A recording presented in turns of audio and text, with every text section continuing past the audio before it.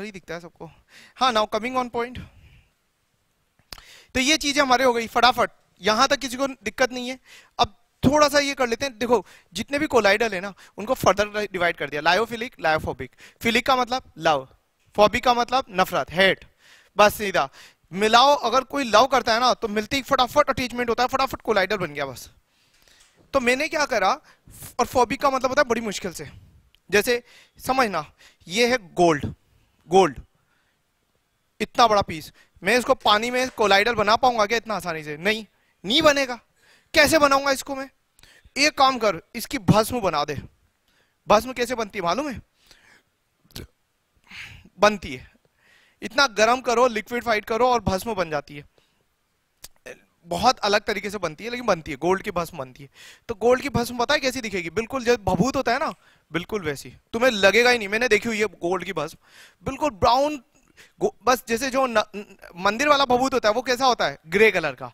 Gold की जो भस्म होती है ना वो ब्राउनिश लगती है। आप ऐसे भस्म को हाथ लगाओगे ना ऐसा लगेगा मिट्टी पकड़ रखी है। ये आ, क्या कहते हैं? सैंड पार्टिकल बिल्कुल। हाँ? नहीं।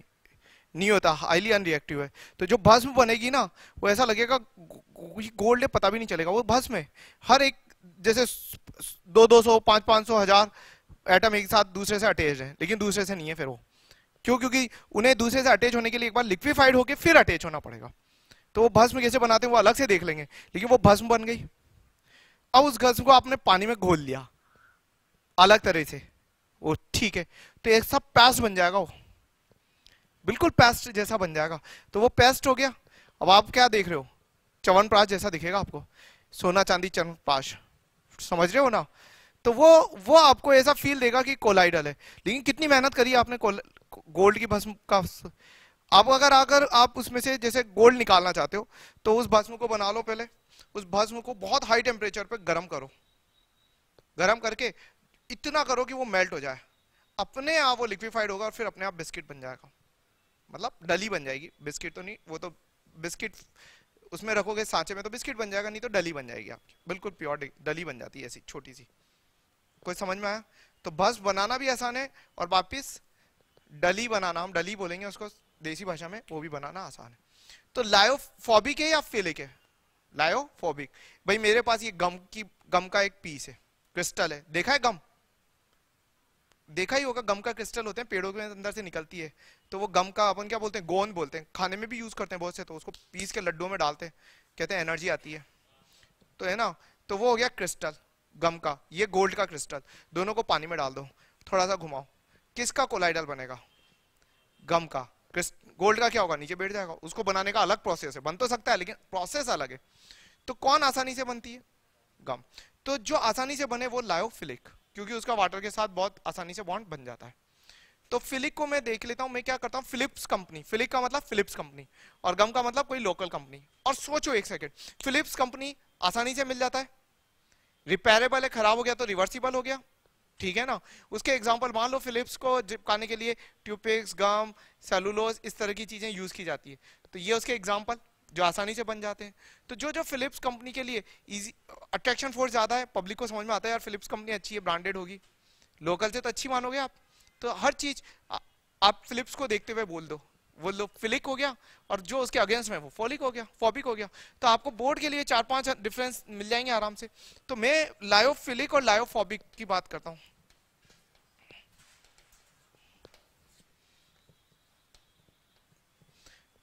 अगर कोई सबसे पहले पूछे तो मेरे लिए तो ये कोलाइडल पार्टिकल यानी डिस्पर्स फ़ेज़ और डिस्पर्जन मीडियम जो बनता है, उसके बीच में क्या होता है? अट्रैक्शन होता है।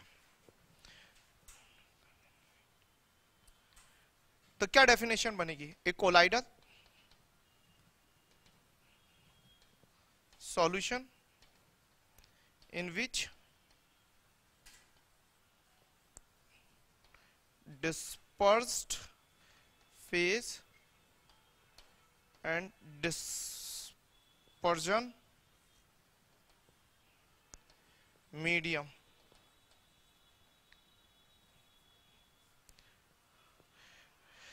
attract to each other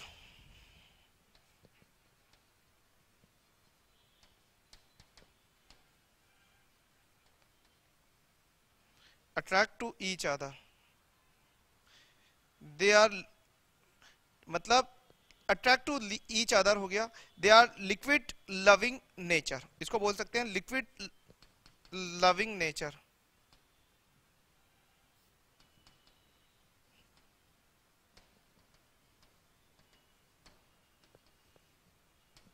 loving nature ये हो गया फिलिक फॉबिक को देख के इसके अपोजिट में बोल दो। A colloidal solution in which disperse phase and dispersion medium attract की जगह repel to each other. Repel to each other. और दे आर लिक्विड लविंग की जगह लिक्विड हेटिंग नेचर डाल दो।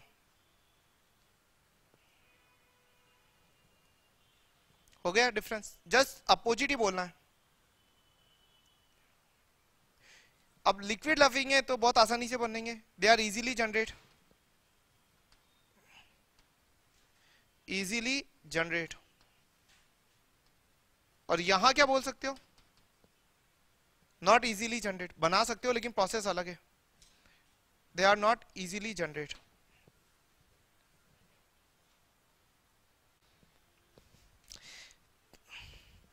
सही है? तो ये हमने कुछ इंपॉर्टेंट लिख लिए। दे आर रिवर्सिबल ऑब्वियसली मैंने कहा भी रिवर्सिबल है। फिलिप्स कंपनी का कोई भी अगर चीज़ टूट गई, खराब हो गई रिवर्स रिटर्न कर देते हैं बेचारे। अच्छी लोकल कंपनी नहीं है। तो दे आर रिवर्सिबल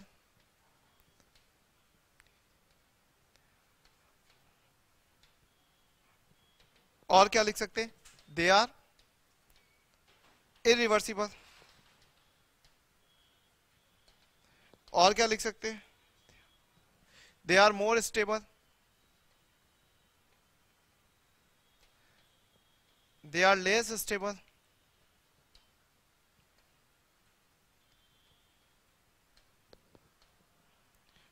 अब एग्ज़ाम्पल की बात कर रहे जाते हैं तो मैं एक काम करता हूँ, मैं सोचता हूँ किस किस के कोलाइडर मैंने देखे हैं लाइफ में। कभी आपने गम का देखा है? हाँ। कैसे बनाते हो? क्या स्पेशल केमिकल प्रोसेस करते हो? नहीं। पानी में घोलो तो गम हो गया। और? और जल्दी से बोलो। गम के अलावा? सालू, वो जो स्टार्च होता है, वो ले लो। आलू होता है ना, आलू में स्टार्च बहुत अच्छा होता है। पानी के अंदर मिलाओ आलू को, कटे हुए आलू को स्टार्च जैसा बन जाता है गाढ़ा गाढ़ा सा। कोई अलग से प्रोसेस नहीं करते केमिकल प्रोसेस हाँ अगर कंसंट्रेशन बहुत ज़्यादा हो तो ग्लूकोज सुक्रोज का भी बन सकता है। सुक्रोज तो जितने भी ऑर्गेनिक है ऑर्गेनिक सब्सटेंस ये आसानी से बना लेते हैं। बस उनमें ओ OH ग्रुप होना चाहिए बस, जिससे पानी के साथ वो हाइड्रोजन बॉन्डिंग बना ले और इजीली मिक्स हो जाए। ये क्या होते हैं? ये जनरली क्या होते हैं? इनऑर्गेनिक नेचर इनऑर्गेनिक वाले होते हैं ज़्यादातर। जैसे आप किसी भी सॉल्ट का बना रहे हो, बहुत सारे सॉल्ट हैं। हाइड्रोक्साइड्स हैं ऑक्साइड हैं नाइट्रेट्स हैं सल्फेट हैं, बहुत सारे ठीक है ना? तो मेनली तो metal hydroxide metal sulphide metal oxide metal बस सिंपल मेटल ले लो।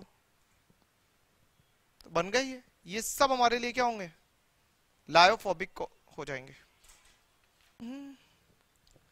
हाँ। तो अगला जो हमारा एग्ज़ाम्पल होगा classifications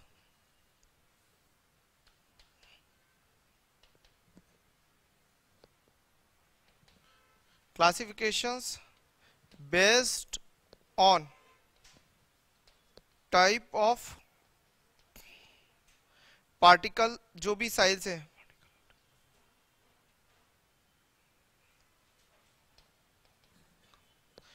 Particles of disperse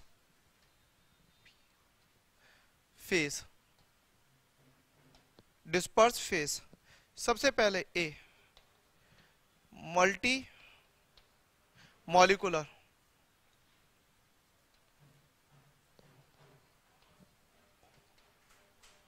multi molecular collider multi molecular collider multimolecular collider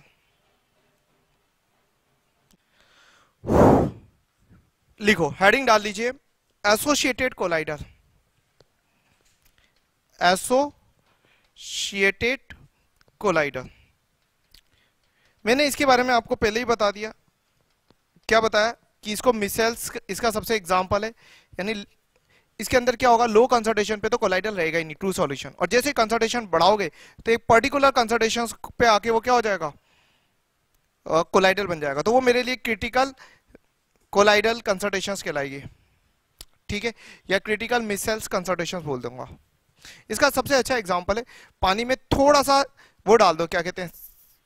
Surf Excel यानी कि वॉशिंग सोडा डाल दिया आपने। शुरुआत में लगेगा ही नहीं कि डाला है। एक चिमटी, एक चम्मच डाल दो दो चम्मच डाल दो। एक चम्मच डालते ही हो सकता है बन जाए, या दो चम्मच मिल जाते। तो कुछ सर्फ और सिंपल सा बात कर रहा हूँ, सर्फ में और निर्मा सुपर में। निर्मा सुपर आपको तीन चम्मच डालनी पड़ेगी, और सर्फ एक्सल की एक चम्मच ही काम हो जाएगी। तो ये है फ़र्क। क्यों हो रहा है वो बात की बात है? तो वो एक चम्मच में जो काम कर रहा है, वो तीन चम्मच के बराबर होता है तो उसकी कॉस्ट भी तीन गुना ज़्यादा होनी चाहिए ना फिर? होनी चाहिए ना? तो बस इसीलिए कॉस्ट वहाँ पर ज़्यादा हो जाएगी। तो ऐसा क्यों है कि वो एक चम्मच में कर रहा है? क्योंकि हो सकता है उसका मॉलिक्यूल जो है, वो बढ़ाओ, जिससे वो बन रहा हो। तो बड़ा मॉलिक्यूल जल्दी कोलाइडल बनाएगा, कम कंसंट्रेशन में बना देगा। और छोटा मॉलिक्यूल ज़्यादा मिलाना पड़ेगा, ज़्यादा अमाउंट बनाना पड़ेगा। तो बड़ा मॉलिक्यूल बनाने के लिए फिर खर्चा ज़्यादा लगेगा उधर। समझ में आता है ना? तो ये सारे जो सर्फ हुए या ये जितने भी होते हैं, ये कंपनी अपने मॉलिक्यूल के हिसाब से पैटर्न करा लेती है। नहीं तो अदरवाइज़ सर्फ निर्मा वाला भी बना सकता है, निर्मा वाला व्हील भी बना सकता है। ठीक है? तो सब बना सकते हैं, लेकिन बना के पैटर्न करा लेते हैं, भैया हमारा ये है, हमारा मॉलिक्यूल ये रहेगा, अब इसको और कोई नहीं, इतना बड़ा नहीं बना सकते। नंबर ऑफ़ ब्रांचेस सब बिल्कुल पैटर्न करा लेते हैं, वो यही बनेगा तो इस तरह से चलता है। तो चलिए, खैर मैं बनाना नहीं सिखा रहा, लेकिन अभी एसोसिएटेड कोलाइडल की डेफिनेशन बोलता रहा हूँ मैं आपको।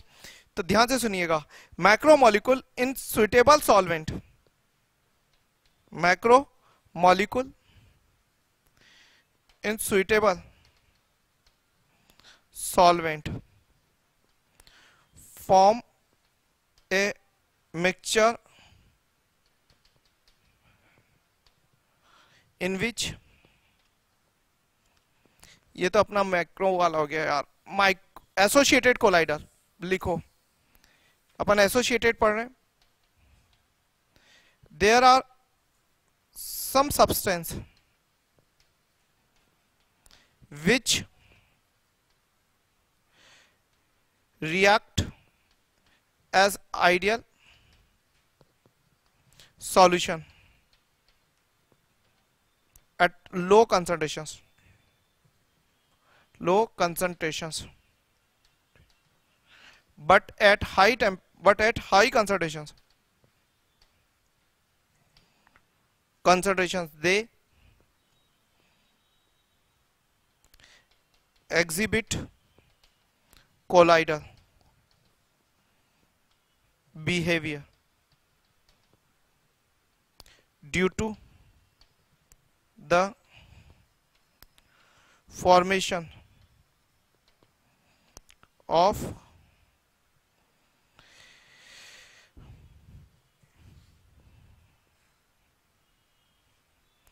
एगुलेटेड हम वर्ड यूज़ कर सकते हैं। फिर एक बार समझा देता हूँ, ये मेरे पास मैकेनिज्म है, ये पूरी जो चेन है, ये हाइड्रोफिलिक वाला पार्ट है और ये क्या है हाइड्रोफोबिक यानी कि एक तरह से बड़े एसिटेट आयन है कार्बोक्सिलेट आयन है। तो अब आपके पास बड़े कार्बोक्सिलेट आयन आ गए तो ये हमारे लिए क्या है हाइड्रोफोबिक और ये हमारे लिए क्या है, ठीक है, जो भी है।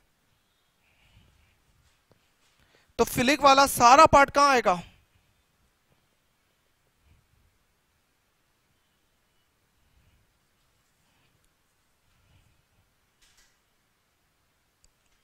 तरफ़ आ रहा है हमारे पास ध्यान से देखिएगा। तो एक तरह से हमारे लिए क्या आ रहा है? हाइड्रोफोबिक और एक तरफ़ हमारे लिए क्या है? हाइड्रोफिलिक सही है? तो हाइड्रोफिलिक और एक तरफ़ हमारे लिए क्या आ रहा है? फॉबिक तो लो कंसंट्रेशन और ये हमारे लिए क्या है? High concentration high concentration low concentration ये चीज़ जो हमारे लिए बाहर है, ये मॉलिक्यूल भले ही आपको ऐसा लग रहा है पूरा कंटेनर में आ गया आ गया, लेकिन मेरे लिए तो ये पता है, बहुत छोटा है ये भी। ज़्यादा ज़्यादा क्या होगा? सो पचास या सौ, दो सौ, तीन सौ नैनोमीटर के ऑर्डर का होगा। आँखों से दिखाई देगा क्या ये? नहीं दिखाई देगा। कभी पानी में सर्फ घोलने के बाद आपको कोई मॉलिक्यूल ऐसा दिखाई दिया है? नहीं दिखाई दिया ना? बस फील फैक्टर होता है। बाकी आप देख नहीं पाते उसको, आँखों से तो नहीं देख सकते। ये है वो। अब क्या होता है? मैं आपको बताऊँ, ये ऑयल को क्या लेता है? ऑयल भी क्या है अपने आप में? ऑयल जो ड्रॉप है, वो भी फॉबिक है। और दुश्मन का दुश्मन क्या होता है? दोस्त। तो वो क्या करता है? जैसे कपड़ा है आपके पास, जैसे ये मेरा कॉटन है, इसमें ऑयल ड्रॉप है। अगर मैं इसको पानी में डालूँगा ना तो ये पानी से भगेगा और अंदर चल जाएगा रेशे में। और ज़्यादा मसलने की कोशिश करूँगा, या तो ये बाहर निकल के पानी के ऊपर की लेयर में आएगा, या फिर भगेगा वो। ठीक है ना? तो भगेगा तो वो निकलना इतना आसान नहीं होगा। लेकिन अगर मैंने एक ऐसे पानी में डाल रखा है, जहाँ बहुत ज़्यादा सर्फ घुला हुआ है और ये कोलाइडल बना हुआ है तो वो क्या करेगा? वो जो सर्फ वाला पार्ट है, वो इसके साथ अटैच होगा। धीरे धीरे धीरे धीरे टाइम लेगा। टाइम लेगा और उसके साथ क्या करेगा? अटैच हो जाएगा। और अब वो किसके साथ अटैच हो गया? कॉटन से कॉटन के साथ तो ना उसका अट्रैक्शन, ना रिपल्शन। अब वो किसके साथ हो गया? वो सर्फ के साथ अटैच हो गया अंदर। धीरे धीरे खींच लेगा। दोनों एक दूसरे को अट्रैक्ट करेंगे। दोनों में शादी हो गई बॉन्डिंग हो गई। अब क्या हो जाएगा? वो वो जो फॉबिक वाला है वो धीरे धीरे कहाँ लिया आएगा उसको? बाहर?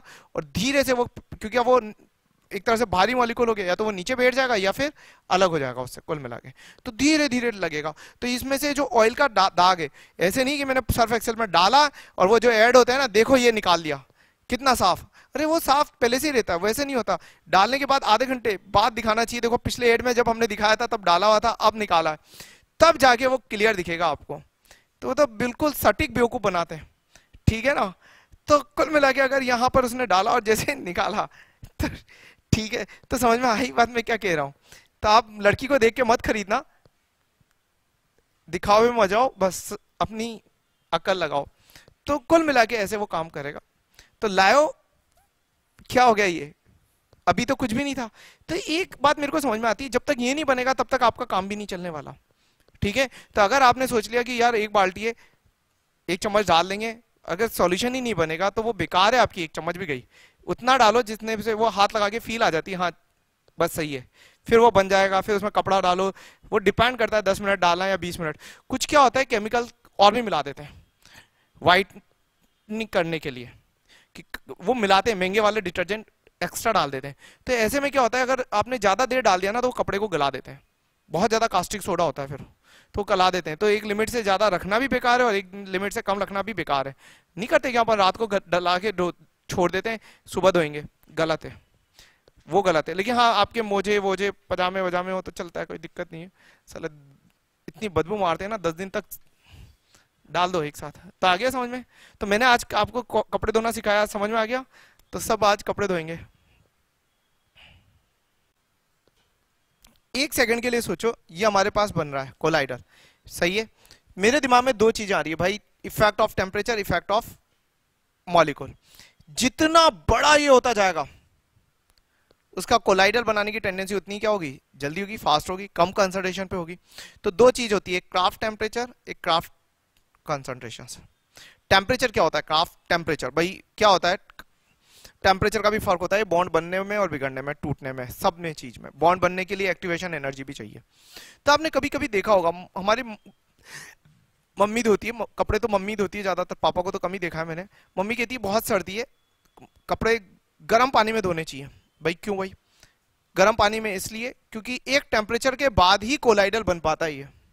बहुत लो कंसंट्रेशन पे ये बेचारा सस्पेंशन ही बनता है सीधा या तो। तो कोलाइडल बनाने के लिए लिमिटेड टेम्परेचर से ज़्यादा चाहिए। वो होता होगा हर एक के लिए अलग अलग चलता है। तो मैं आइडिया से बोल देता हूँ, तीस चालीस डिग्री सेंटीग्रेड गर्मियों में कोई दिक्कत नहीं है। सर्दियों में जब टेम्परेचर आपका दो, पाँच छः डिग्री सेंटीग्रेड पहुँच जाता है तो फिर वो बेकार है। तो थोड़ा गर्म करके फिर धोने का मज़ा ही कुछ और है। तो उसका रीज़न ये है। तो देखा करो, कई बार घर पे नहीं करते कि गर्म पानी में ही धोते हैं। क्यों? क्योंकि आपकी मम्मी ने पढ़ा लिखा है इस मामले में कि हाँ कोलाइडल कहाँ बनता है, उन्हें मालूम है। आ रही है बात समझ में? तो अब इस पॉइंट को कैसे लिखें? क्राफ्ट टेम्परेचर तो हेडिंग डाल लीजिए क्राफ्ट टेम्परेचर क्या डेफिनेशन बनेगी क्राफ्ट टेम्परेचर की? द फॉर्मे लिखिए Krafft temperature the formation of micelles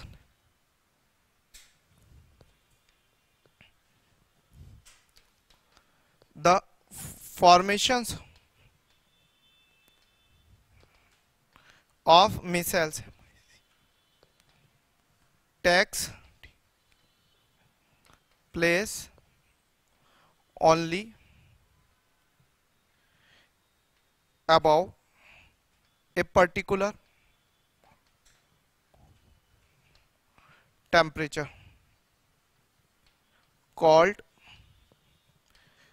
Krafft temperature called Krafft temperature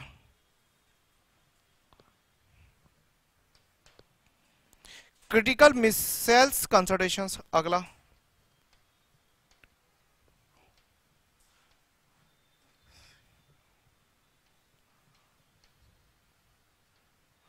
Critical micelles concentration C M C simple है, एक अमाउंट कंसल्टेशन के बाद ही मिसाइल्स बनेगा। तो आप बोल सकते हो the formation of micelles takes place only above a particular concentrations called CMC for the SOP the CMC is 10 power minus 4 to 10 power minus 3 mole per litre generally यही इस रेंज में ही चलता है फॉर बिग मॉलिक्यूल ये important point है. For big molecule less CMC and for small molecule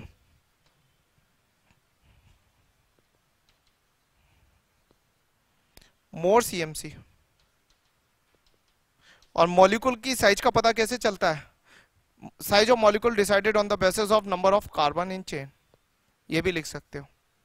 इसके अंदर दस थे, जिसके अंदर बीस होंगे वो और ज़्यादा अच्छा। और जिसके अंदर पचास